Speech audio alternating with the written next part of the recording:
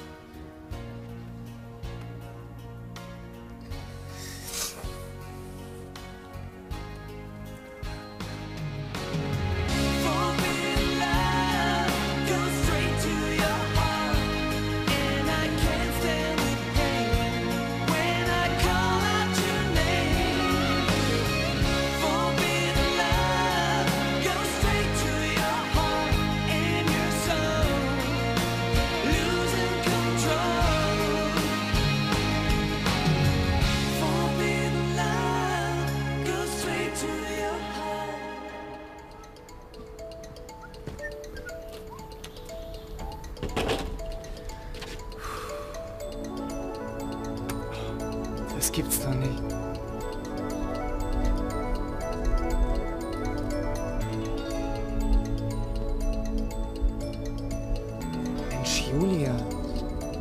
Hey, Julia. Musst du nicht so erschrecken? Was ist denn? Sag mal, hast du die ganze Nacht hier gepennt? Nein, ich teste die Autositze. Aua, jetzt habe ich Krampf. Mensch, Julia, warum hast du denn gestern nicht gesagt, dass du nichts zum Schlafen hast? Du hättest doch bei mir zu Hause pennen können. Mann. Komm, halt dich fest und tritt ihn aus. Okay? Ja. Du siehst aus, als bräuchtest du dringend einen Kaffee. Nächstes Mal kaufe ich mir ein Auto mit Himmelbett. Oh, komm.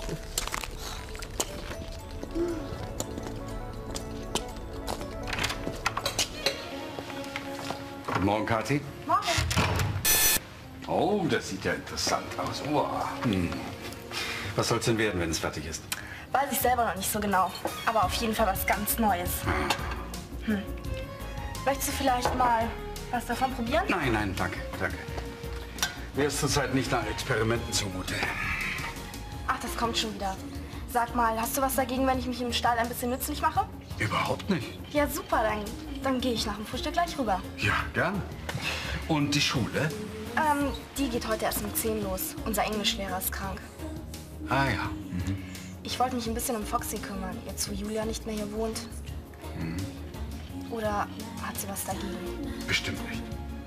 Ist was? Habe ich was Falsches gesagt? Nein, nein, nein, nein, Kathi. Mir kam es nur eben so vor, als säße Julia hier. Sie war in deinem Alter genauso pferdeverrückt wie du.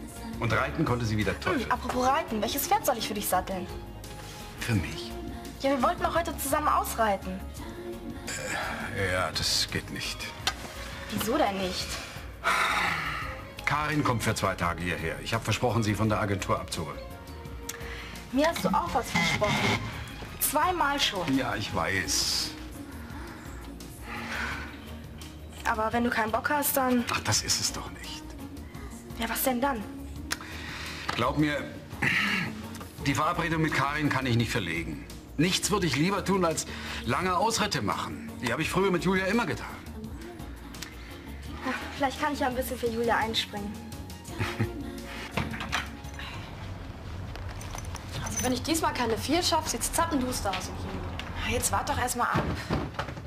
Hey, ich glaube, ich habe im Lotto gewonnen. Ist ja okay. Mach nicht so einen Aufstand drum. Sag doch mal her. Finger weg. Ich bin noch nicht fertig. Ich aber. Heißt es, du hast die Klausur gepackt? Ja, klar. Chemie ist doch mein Lieblingsfach. Seit wann das denn? Ach, Seit gestern?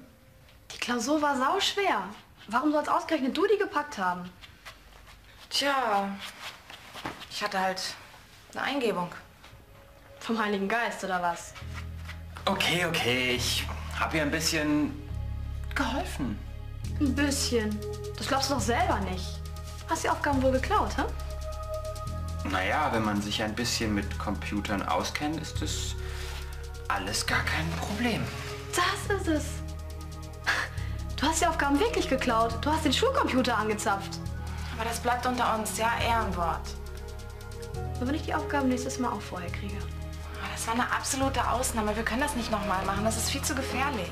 Genau, und außerdem war das auch nur ein Test. Ich, ich wollte nur mal ausprobieren, ob ich das Passwort knacken kann. Tolle Freunde seid ihr. Anna kassiert den Einser und mich lasst ihr ans Messer laufen. Super. Hör mal, ich, ich helfe das nächste Mal so in Chemie. Versprochen. Ach, kein Bock. Ihr seid unmöglich. Nee, bitte, mir kommt das Zeug schon zu den Ohren raus. Sei brav und trink. ja? Trink du doch.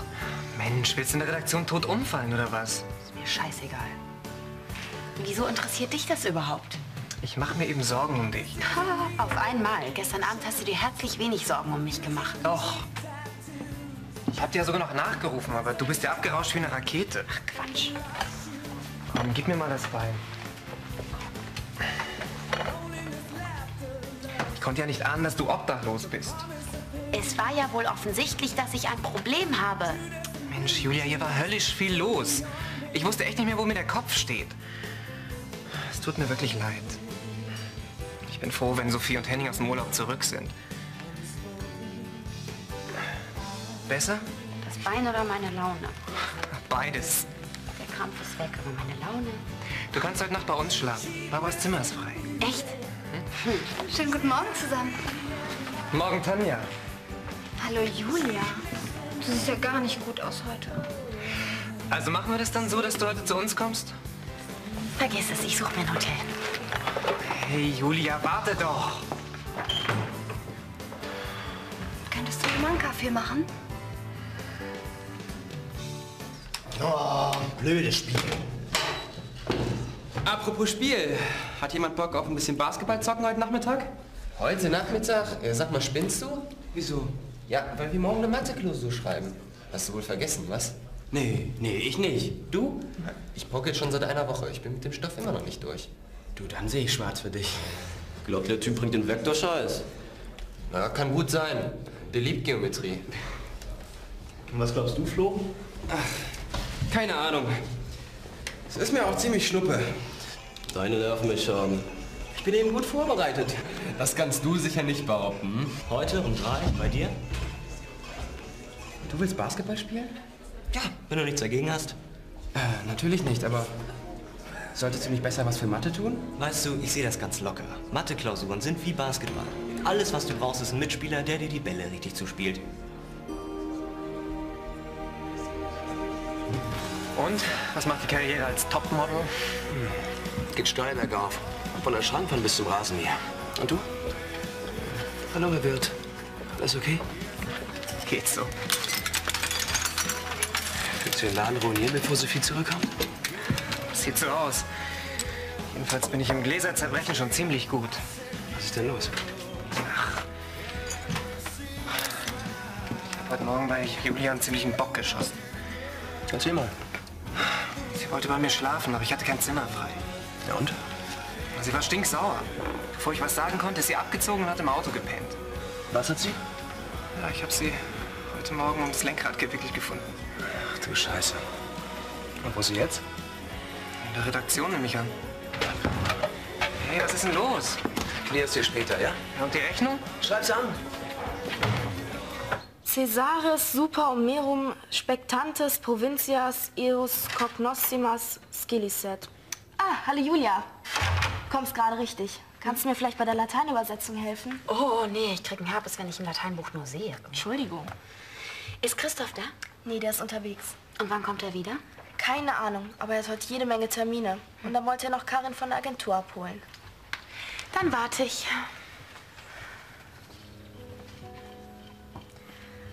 Sag mal, bist du eigentlich sauer, weil ich in deinem Zimmer wohne? Quatsch, gibt genug Zimmer hier. Mensch, blaff mich doch nicht so an. Entschuldige, ich hatte eine schwere Nacht. Ist okay, dass du hier wohnst. Gefällt's dir denn? Ja, super. Wenn der blöde Lateinkram nicht wäre, wäre es allerdings noch besser. Kann ich dich mal was fragen? Klar. Warum hast du dich mit Christoph gestritten? Woher weißt du das denn schon wieder? Hab's halt so mitgekriegt. Wir haben uns nicht gestritten. Ich, ich habe ihm nur gesagt, dass ich es nicht richtig finde, wie er mit Clarissa umgeht. Wieso? Er macht doch gar nichts. Was weißt du denn, was Christoph macht und was nicht? Stimmt. Aber eins weiß ich, das hat er mir heute Morgen noch gesagt. Was denn? Dass er dich vermisst. Er redet die ganze Zeit von dir, wie ihr früher zusammen ausgeritten seid und so. Jetzt kann er ja mit dir ausreiten. Jetzt kommt's ganz dick. So dick wie das hier? Viel dicker. Rate mal, wo Julia heute Nacht geschlafen hat. Ah, bei einem wunderschönen fremden Jüngling. Ja, im Auto. Nee, das glaube ich nicht. Gero hat sie heute Morgen vor der Kneipe gefunden. Hier. Gott, ich blöde Kuh. Wieso du? Mein Gott, ich hätte auch wissen müssen, dass sie blufft. Sie hat groß rumgetönt, von wegen sie hätte tausend Möglichkeiten und ich glaube ihr das auch. Du kannst doch überhaupt nichts dafür. Natürlich. Ich bin doch ihre Freundin, ich hätte es merken müssen. Das hat sie sich selbst eingebockt mit ihrem blöden Stolz. Außerdem kannst du es ja auch wieder gut machen. Wie das denn? Indem du ihr sagst, dass sie hier einziehen kann. Hier? Ja. Denn nur vorübergehend, bis sie was Eigenes gefunden hat. Weiß nicht, zu dritt in der Wohnung, es geht bestimmt nicht lang gut, vor allem nicht mit euch. Wir schaffen das schon. Ja, so wie neulich. Ach komm. Neulich war eine Ausnahme. So oft schreiten wir das nicht. Ach Mensch, ich find's aber so schön mit dir. Ich hab wirklich Schiss, dass das kaputt geht, wenn Julia einzieht. Hey, wir werden den Spaß unseres Lebens haben. Ich weiß nicht. Ach komm, gib dir einen Ruck, ja? Also gut. Meinetwegen. Ich liebe dich.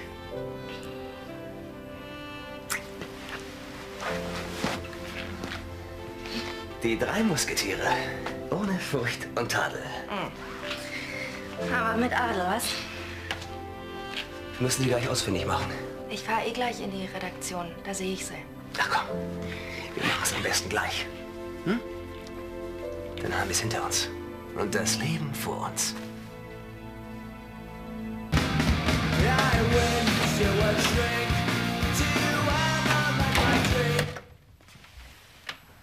Was ist denn? Ich muss mit dir reden. Oh, ist wohl dringend. Allerdings. Welche Klausurfragen brauchst du denn diesmal? Mathe, Bio, Physik. Jetzt hör auf mit dem Quatsch, Florian. Hey, wo bleibt die Dankbarkeit?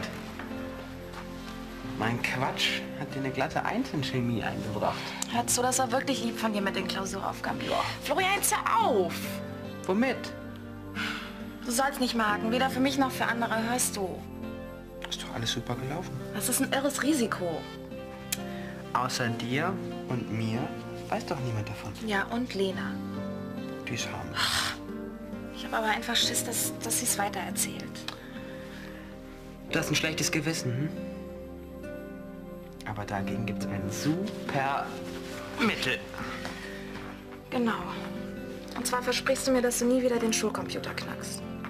Anna, die paar lausigen Klausurfragen. Bitte lass die Finger davon, ja? Aber nur, wenn ich die Finger nicht von dir lassen muss.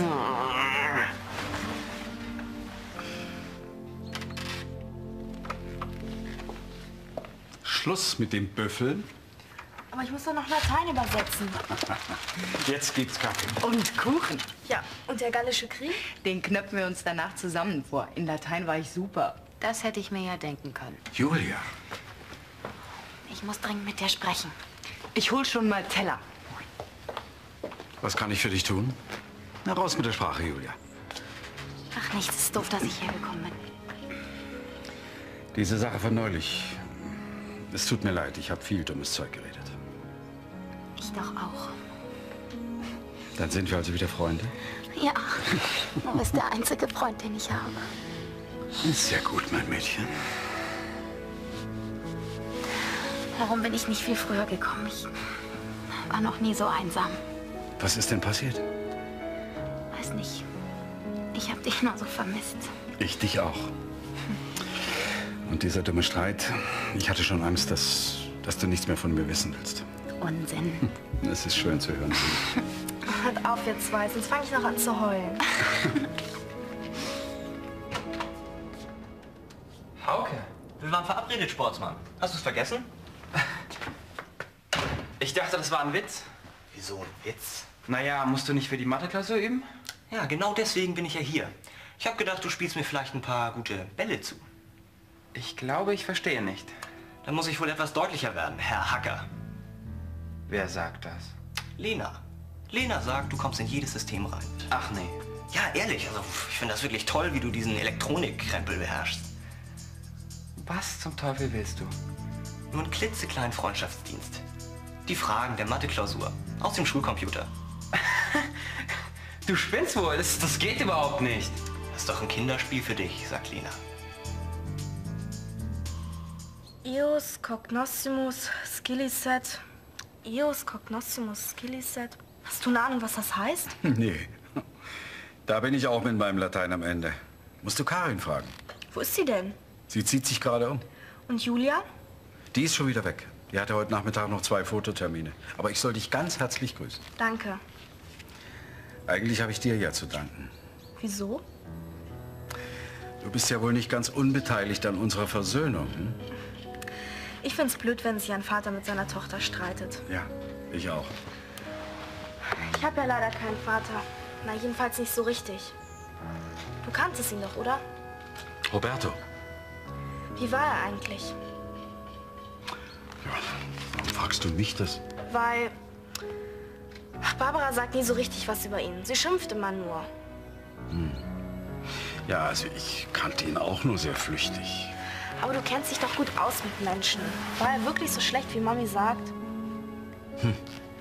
Also ein Heiliger war er nicht, Ja, das ist Mutti auch nicht. Sie hat ein paar ganz schön dicke Macken. unter denen du fürchterlich zu leiden hast, ne? Manchmal schon. Ich verstehe gar nicht, wieso du so gut mit dir klarkommst. Tja, ich kenne mich eben aus mit Menschen. Ich wünschte, mein Papi wäre so wie du. Das dritte Musketier. Hallo. Hi. Na, Bruder. Ich wusste gar nicht, dass ihr mich schon so fest eingeplant habt. Und das nach meiner Nacht im Auto. Ja, das war vielleicht eine Schnapsidee. Ja, wirklich. Hättest doch echt bei uns pennen können. Ja, ich dachte halt, es geht schon irgendwie. Und außerdem, Was außerdem? ich wollte euch nicht stören. Ach, Du störst doch überhaupt nicht. Wirklich nicht? Wirklich nicht. Und deswegen kannst du auch so lange bleiben, bis du was Eigenes gefunden hast. Unter einer Bedingung. Welche? Julia, wir dürfen uns nicht streiten. Okay. Ja, meine Freunde werden mich um euch beneiden. Na, wie schön für mich. Mhm. Aber wirklich nur dieses eine Mal. Ja, sowieso. Ich will bloß die Mathe-Klausur. Ja, und ich will nicht wegen dir von der Schule fliegen. Ja, das ging mir genauso. Boah, das ist ja der Hammer. Moderne Kommunikation. Ich glaube, ich muss mir auch mal so ein Teil anschaffen. Mit Anschaffen allein ist es nicht getan. Gut, muss vielleicht noch ein paar Knöpfchen drücken. Man muss vor allem die richtigen Knöpfchen drücken. Und vom Betriebssystem muss man auch ein bisschen Ahnung haben. Man kann alles lernen, wenn man will. Und warum lernst du denn nicht für Mathe? Ja, wozu denn, wenn ich dich als Freund habe? Jetzt halt endlich den Mund. ich versuche mich zu konzentrieren. Und, kommst du ran? Ich bin schon im Matheordner. Das läuft ja wie geschmiert. Abwarten. Hier herrscht ein ziemliches Chaos in den Files. Was heißt das? Das heißt, dass ich Ruhe brauche. Also hock dich dahin und halt die Klappe. Ja, okay, okay. Ich bin gar nicht da.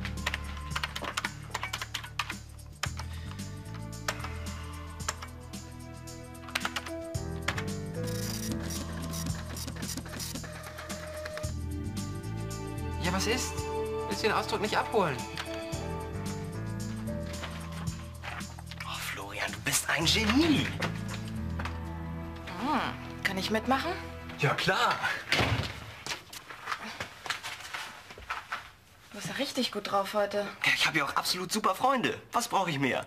Naja, eine gute Note in der Mathe-Klausur. Das ist für mich kein Problem. Ach ja, seit wann das denn? Ja, seit Seit Florian. ich mit ihm lerne. Komm, wir gehen noch ein bisschen Streetball spielen, bevor wir weiter lernen.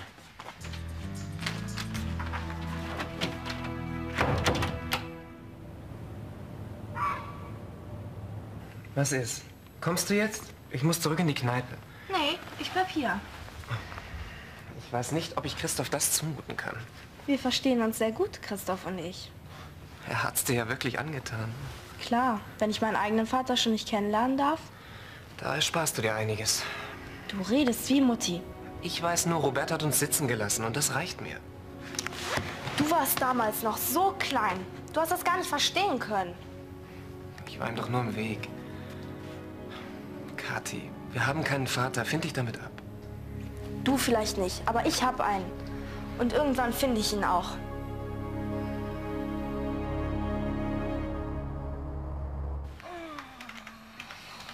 Morgen. Morgen. Gut geschlafen? Ja, wie ein Murmeltier. Siehst aber müde aus. Habt ihr noch lange gelernt gestern Abend? Ja, ja. Ziemlich lange. Und? Gutes Gefühl? Es wird schon gut gehen. Ich muss nur noch ein bisschen Geometrie machen. Das schaffst du doch auch so, oder? Woher willst du das wissen? Ach, gib schon das Heft her. Ja, was haben wir denn da? Täusche ich mich oder sind das die Klausuraufgaben? Florian, das ist wirklich das Letzte. Jetzt spiel ja bloß nicht den Moralapostel oder muss ich dich an deine Chemieklausur erinnern? Kapiere ich endlich, was du gestern mit Hauke ausgeklüngelt hast. Du hast ihm die Aufgaben gegeben. Das ist doch Quatsch. Ja, jetzt wirklich, ich habe doch genau mitgekriegt, wie du die Nummer vom großen Hacker gespielt hast. Und was ist, wenn Hauke nicht dicht hält? Hast du dir das schon mal überlegt? Er ist ein Freund. Ja, er ist jedermanns Freund, wenn es ihm was nützt. Oh shit. Was ist denn? Ich habe die falschen Matheaufgaben kopiert. Das ist die Klausur von der Parallelklasse.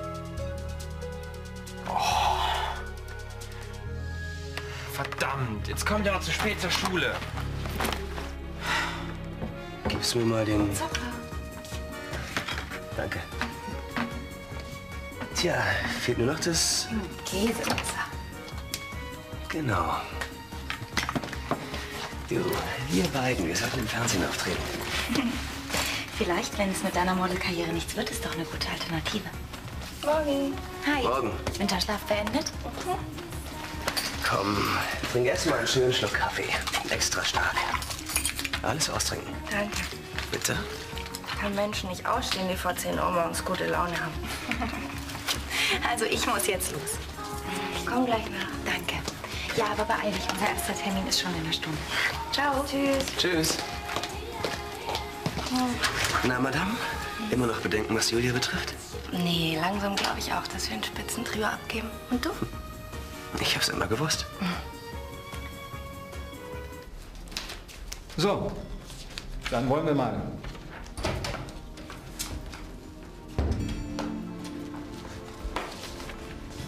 Bitte verdeckt auf den Tisch legen. Ich muss dir was sagen. Keine Privatgespräche, Florian. Ich hoffe, Sie haben fleißig gelernt, Hauke. Ich habe gar kein Genie. Sie werden sich wundern, Herr Doktor.